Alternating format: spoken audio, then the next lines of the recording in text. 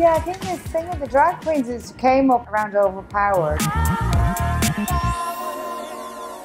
And it's just mind blowing. When Roisin Murphy released Overpowered, I was immediately drawn to the album.